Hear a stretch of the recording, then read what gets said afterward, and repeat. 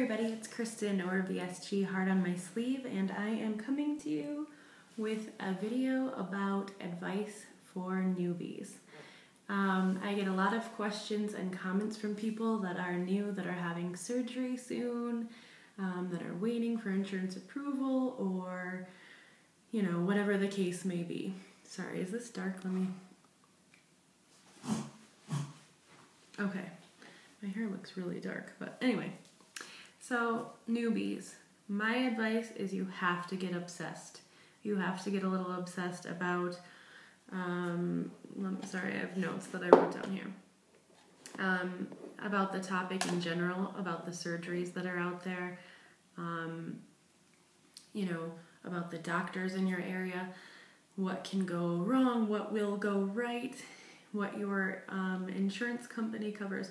So, I mean, get obsessed, get informed, get information from YouTube, from forums, from from doctors' offices, from your primary care doctor. Go to informational seminars from surgeons. That's what I did.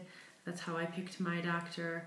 Um, you know, get all the information that you can find obesityhelp.com, um, Facebook, anything, and get obsessed about getting the information. Um, another really important piece of advice for newbies call your insurance company. Before you do anything, call your insurance company. Ask them what are their requirements? Is there a BMI? Are there comorbidities? What doctors are covered? Uh, I mean, you know, who who will they cover? Who's within your network or whatever the case may be. Um, the insurance is such an important, unfortunately, part of this process. So get informed by talking to your insurance company. Don't be embarrassed to call them and say bariatric surgery.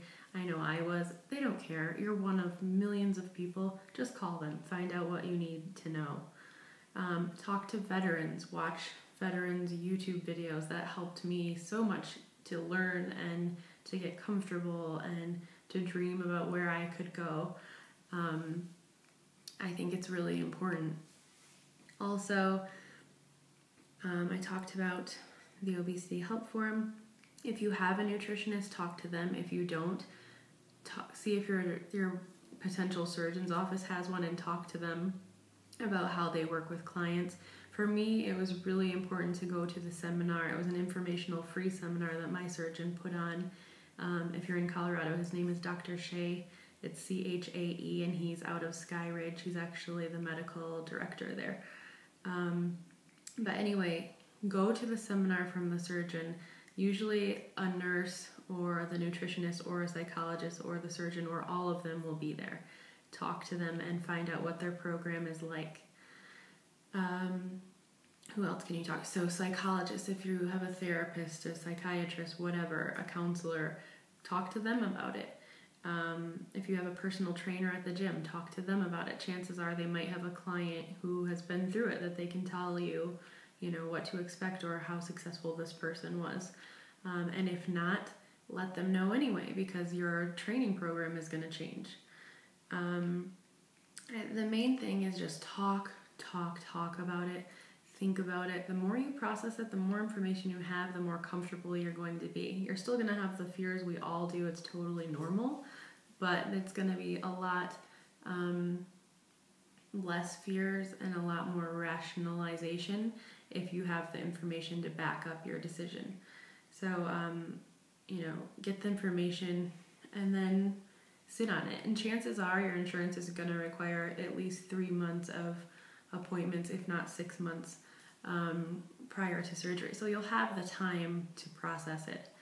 Uh, and then, you know, the other important piece of advice, the final thing is surround yourself with a support system, whether it's your spouse or your friends or your boyfriend or your girlfriend or your wife or your husband, your parents, your sister, um, you know, find a support system. Reach out on YouTube and Facebook. It's been amazing for me and so many other people.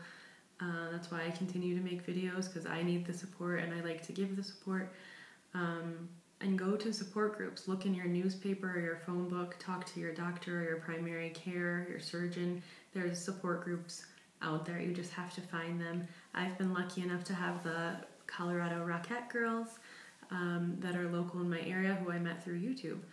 Uh, you just never know, but support is crucial and priceless in this journey. So, sorry this video is so dark, but um, that is it. So, advice for newbies. I hope this helps, and best of luck to all of you.